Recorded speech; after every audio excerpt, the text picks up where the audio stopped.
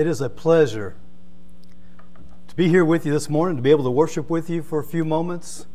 On behalf of Diane and myself, uh, uh, we're just so honored. We've been looking forward to this for so long. Uh, sorry it's taken this long to, to, to, get back and visit with you.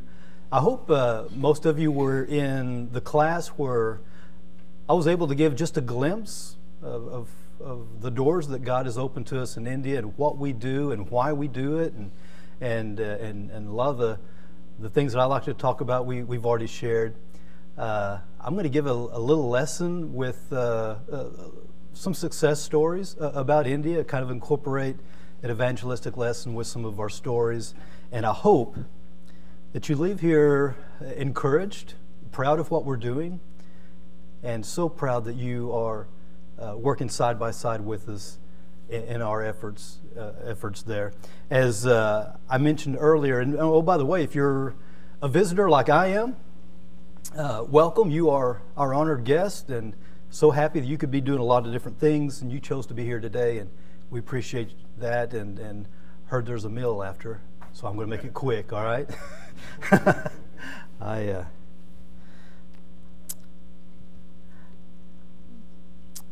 I guess, um, I guess I want to begin by just letting you know, first of all, uh, Josh, I'm not a preacher. Okay, I, I, I, didn't go to preaching school, and, and, and but I teach a lot, and I teach a lot uh, in India. That that's kind of what we, Diane and I, do uh, when we go to India. Uh, they're much better preachers than we are, and we leave that to them. But but I'm a teacher. We have uh, depending on the season, anywhere from three to five schools that we operate and teach at and oversee. And that's kind of our, our MO while we're in India. And so I'm going to give you some stories and a little bit of backdrop of what we do and why we do. And uh, it'll give you a little glimpse of um, uh, what mission work is like uh, in India. Because we get this question a lot. What, what's it like in India, Joe? What, is it something I can do? Well, listen closely, and, and, and you'll have uh, my opinion. I, I, and I need to say that my first trip in India was 1989. Uh, so I've been over there 33, 34 years. Uh, I've made, I don't know how many trips, I've lost count, well over 55. Uh, Diane's been on uh, at least a dozen, maybe 13 trips with me. Uh, she goes with me uh, now that we, we kind of both retired. I was a small business owner in Northwest Arkansas. Uh, Diane uh, is a registered dental hygienist for years, and when we retired, we this is what we do full time now. So that's a little backdrop uh, about us. and I could literally spend hours. I've told some of you earlier after class, I could spend hours telling you of what I would consider success stories of what we've done and accomplished there are many, and I could lecture you endlessly because I love history about the history of India and our, the church's presence in India. And uh, for those of you who were uh, in class, know that India is a special place to us. Why? Uh, because they're like the Bereans. They have an open mind to study Scripture. And where do you find that these days in our neighborhoods? Uh, uh, I think I was a lot like Arkansas in that you knock some doors in your neighborhood and good luck. you know, uh, India's not that way. And so I want to start by just letting you know we work in an area that's poor by UN standards, by our standards. India is a third world country trying to become a second world country. And there are a lot of Christians there. We've been in India since the 60s. And there are more than 130,000 congregations, which is more than North America, Central America, and South America combined. And just let you know that, man, where, where people are open like the Bereans are, this is the results. And we just thank you for being a part of this open door. Uh, the book of Hosea, Diane, if you give me that slide. Uh, the book of Hosea is not a book that gets studied much. I don't, I don't think. Uh, but I'm going to jump off uh, the things I want to share with you this morning in the book of Hosea, chapter 8, verse 7. And it says this, interestingly You have sown the wind, and you will reap the whirlwind. Anybody ever read that verse? Anybody know what that verse is talking about? One afternoon, I was talking to our oldest son, Aaron. And I'm not saying this just to brag about Aaron. I kind of am. Uh, but Aaron has a PhD in astrophysics. He works at Caltech and is involved in some projects in the Jet Propulsion Laboratory with NASA. And I say that to say the dude knows math. Okay? uh, he, he, uh, he uh, he's quite the mathematician.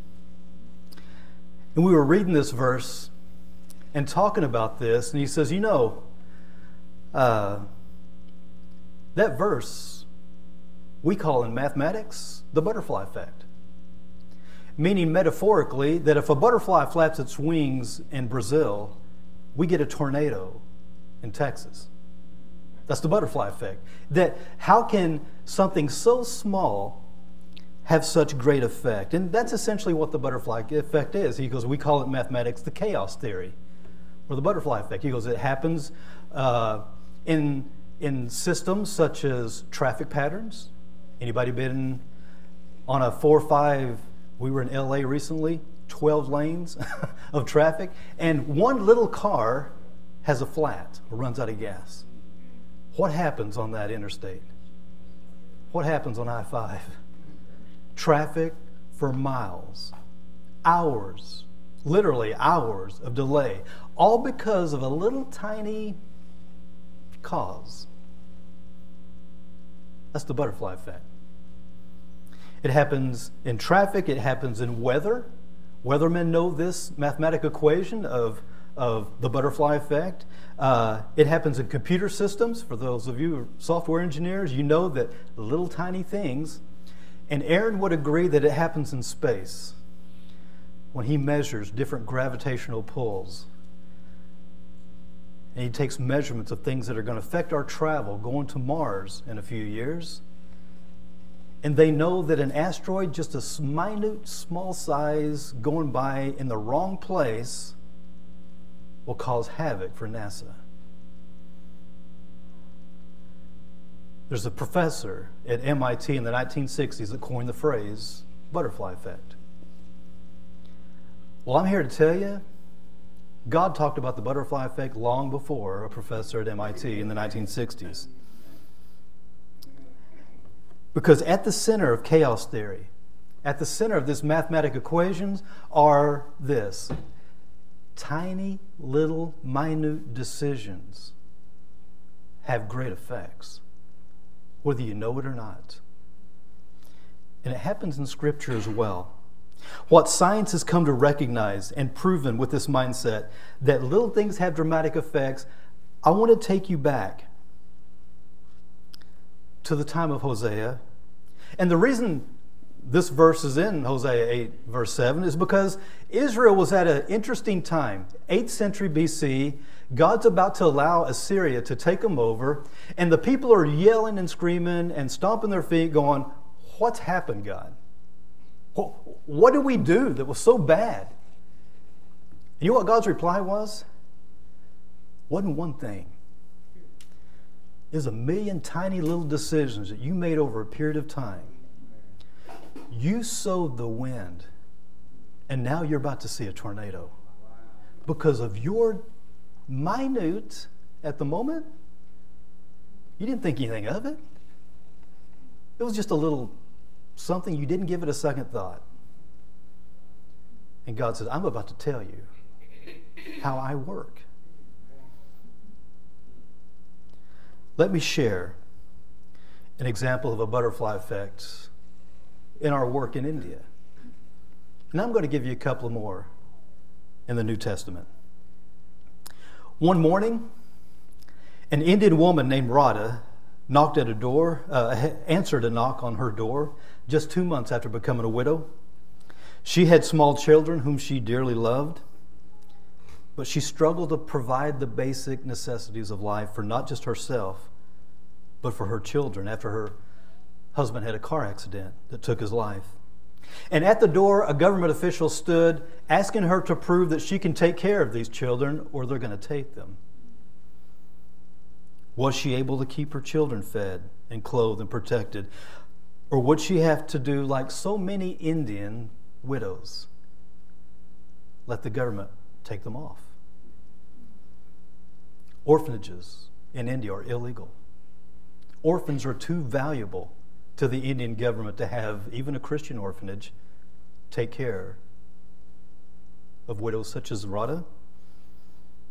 Over a thousand years of Hindu tradition is working against her, and widows like her, even today, and maybe you've read some recent articles in our newsletter containing issues of widows in the churches throughout India.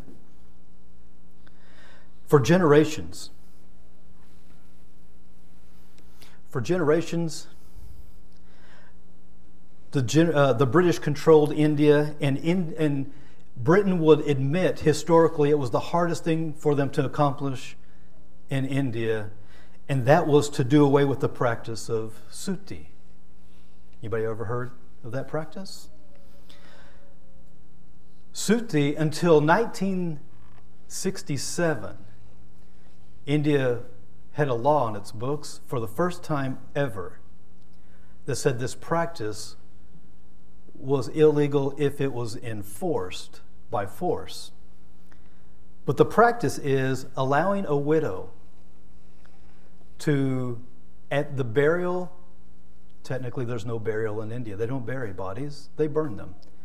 And so when your husband passes away, they go down the riverbank or the canal, banks of the canals and they have a big pyre made, a big stack of wood, and they place the body, and the body's burned. The ashes are burned. That's what Hindus do. A good, pure Hindu woman, faithful Hindu woman, would place her body on those ashes voluntarily. And the practice called suttee. And throughout centuries, and Britain struggled with this, how to deal with this.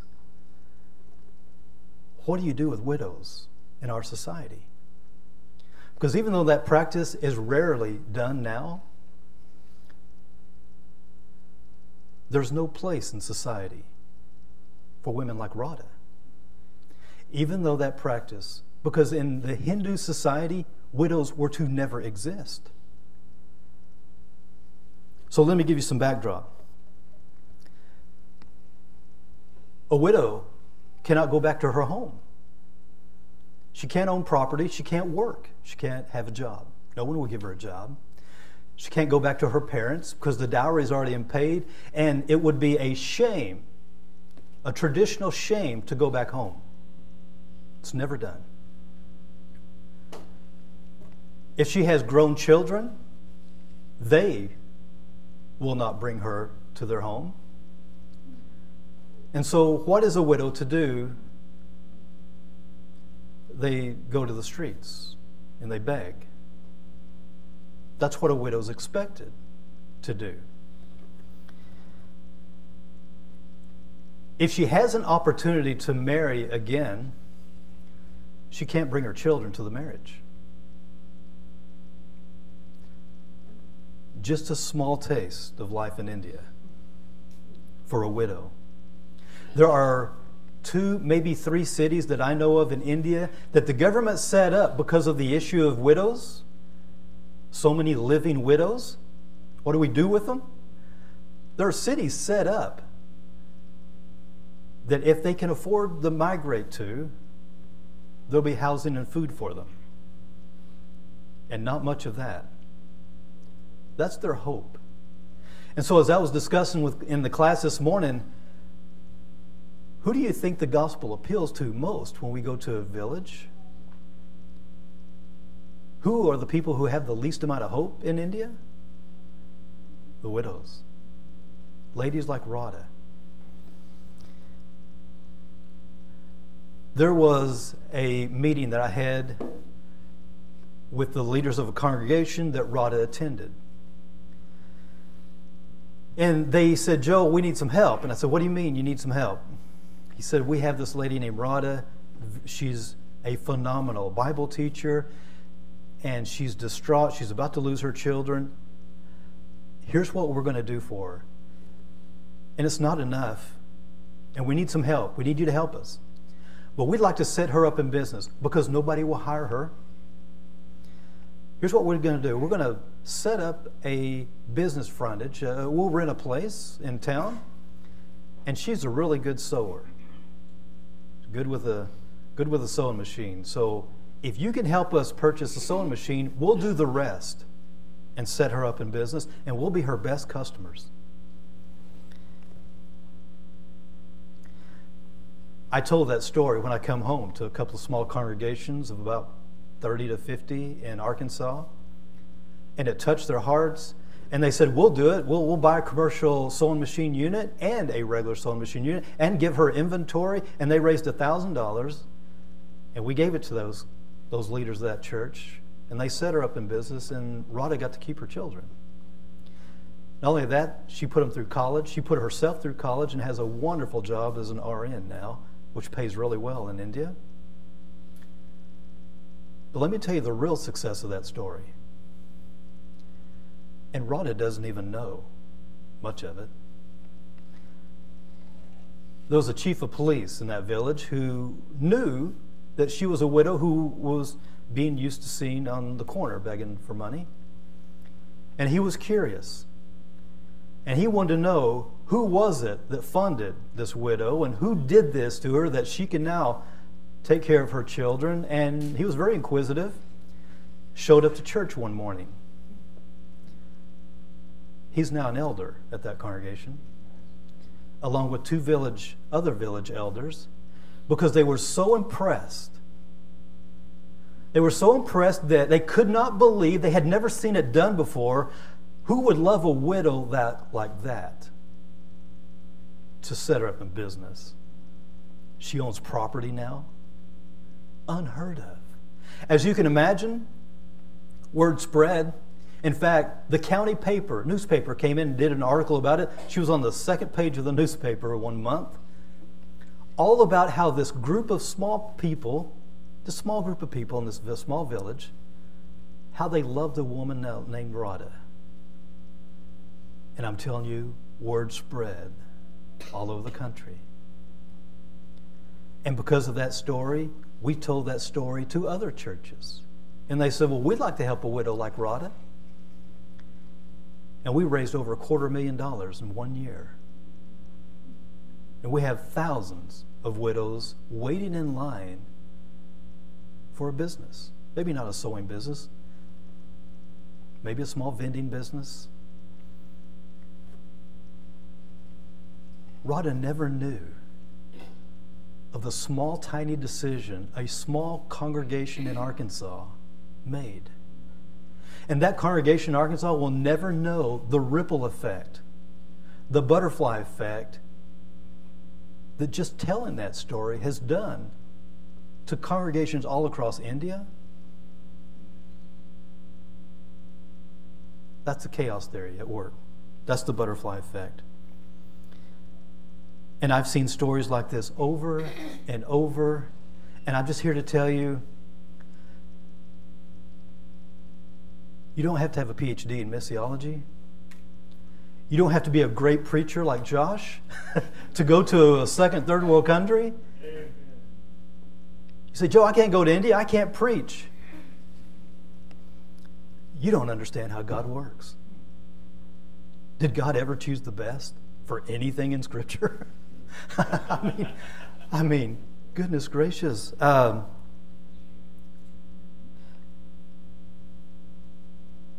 but my conversation with Aaron reminded me how great God is and the way He does things. And can I can I go back to Scripture and just give you a couple Old Testament examples of the butterfly effect that you didn't even re- really realize, maybe, or even thought about? till maybe this morning? How about that small, tiny decision? How about this one? Just a bite of a piece of fruit, right? Who would have thought You and I pay the penalty of that bite today, right? that may be the ultimate butterfly effect throughout time. They had no idea. I am positive they had no idea. Thousands, millennia later, God says, that had an effect. You didn't know it, you didn't realize it. Or how about the next one? This is one of my favorites as well. Uh, that's Abraham, by the way, and his lovely wife Sarah. Do you think they would have ever in their wildest dreams believed? They were just trying to help God. God, you remember? God gave him a promise. Your first son supposed to be Isaac. But God needed help. so who was the first son? And I'm telling you, you don't have to tell the Indians the ripple effect of Ishmael's descendants. If you want to know who they are, ask me later. um, that was a butterfly effect. Because it was supposed to have been, God had a plan. And poor Abraham, he's just like you and I. God, you need some help. We're in our 90s, all right? We're going to help you out. Uh, I guess you need some help. God said, Let me tell you, this small, tiny decision you had, it's got a butterfly effect like you won't believe. This is how God works. But can I give you my favorite one? Let me find my Bible. My favorite ripple effect is going to come from, I don't know, you've read the story hundreds of times, I know. It's found in Matthew 25. If you'd like to turn there or take your phone there or whatever you got. Uh, Matthew 25, verse 31. You probably didn't know that you were reading a butterfly effect.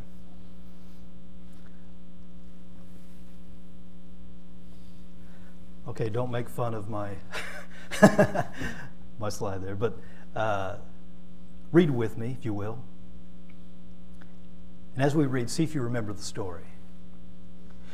When the Son of Man comes in his glory, verse 31, all the angels with him, then he will sit on his glorious throne, and before him all nations will be gathered and he's going to separate them one from another as a shepherd separates the sheep from the goats.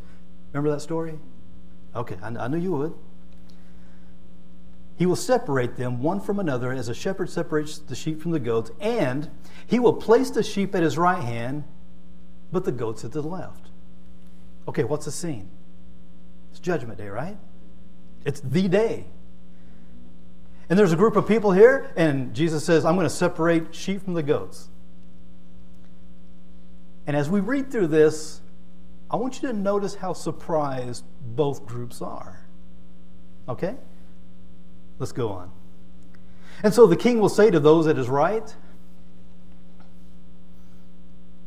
Come, O blessed of my father, inherit the kingdom prepared for you from the foundations of the world, for I was hungry. You gave me food. I was thirsty and you gave me drink. I was a stranger and you welcomed me. I was naked and you clothed me and I was sick and you visited me. I was naked and you clothed me. Uh, then the righteous will say, just like I would have, just like you would have, you would have said, wait a minute, Jesus, when did that happen? okay? I would have, I would have asked the same thing. Verse 37. Then the righteous will answer, Lord, when did we see thee hungry and feed thee, or thirsty or give thee drink? When did we see you as a stranger and welcome thee? When did we when were you naked and clothed thee? And when did we see you sick or in prison or visit you? And the king had this to say Truly I say to you, as you did it to the least of these, you did it to me. And then he looked at the other group and he said this Depart from me. You cursed into the eternal fire prepared for the devil and his angels, for I was hungry, and you gave me no food. I was thirsty, and you gave me no drink. I was a stranger. You did not welcome me. I was naked, and you did not clothe me. I was sick and in prison, and you did not visit me. And they would say, just like you would, just like I would. Wait a minute, Jesus. When did that happen? I never saw you in the ditch. I never saw you in prison. I did never see you hungry because if, if I did, Jesus, I'd have been the first in line. I'd have taken care of you. Jesus says, You don't understand. That stranger, when you didn't do it to that stranger that you did not know, had no relationship with, didn't have a clue who he was, that was me and you didn't know it.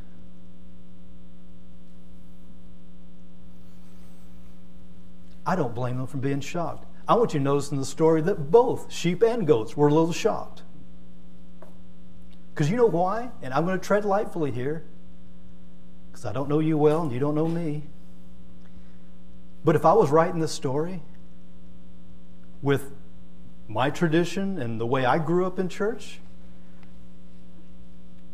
that's not the definition of sheep and goats.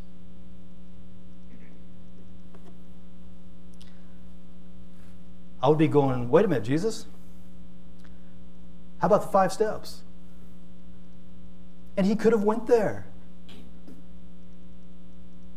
But guys, of all the things that Jesus used to illustrate who the sheep and the goats were, he never addressed the five steps. Not that they're not important. That's not why. Jesus was getting the heart of the matter. If you are in this place, if you treat people like this, all the other stuff is a breeze. That's the easy part. And then he says, Truly I say to you, as you did not do it to one of these, you did not do it to me. And they will go away into eternal punishment, but the righteous into eternal life. Ladies and gentlemen, that's my favorite butterfly effect. You know why? Because this is the way God has always done missions. You realize that? It was always those little things that you and I discount. Joe, I can't go to India. I'm not qualified. well, wait a minute. Can you be compassionate? Can you have that relationship with your neighbor? With a stranger? And guess what? You're qualified. My hope is that of all the things I've told you about India and what we do, that you don't get down in the weeds so much that you can't see that missional work, whether it's in your backyard or in India or in Guyana or in Central America or the North or South Pole, mission work is about the butterfly effect. Are you known for your love? for your compassion, not to those sitting in here, but to that stranger on the side of the road.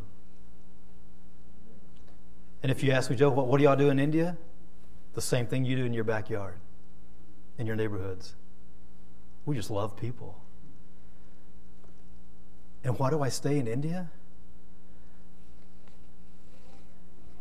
Because of those of you who saw that slide that 1040, the Joshua Project slide, where do two thirds of the world's poor live? In Asia, in that 1040 window, where we work. So it's no wonder butterfly effects everywhere. Man, I could quote you statistics. I was talking to Steve earlier before. Man, you want statistics? We've got them. But I think what makes us successful with working with God in the places that we do, are not our business ratio of dollars per conversion to judge effectiveness any other way than the way Jesus did, I think would be foolish. There's a lot of people in India that are thirsty, and we give them a drink. There's a lot of widows all over India. In fact, I've told some of you maybe already, half the congregations of some of our villages are guess who? Widows. Because they're the ones with the least amount of hope. And Jesus has always worked through us to those people. And you know what happens next?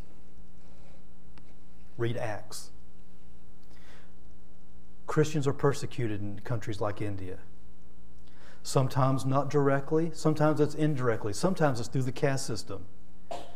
Sometimes it's through the system I described that we see so often in India is by law, you have to go to the courthouse and tell them you're a Christian now.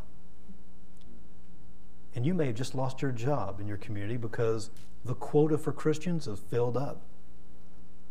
Your kids may not make it to school now in a public school because of your decision to become a Christian.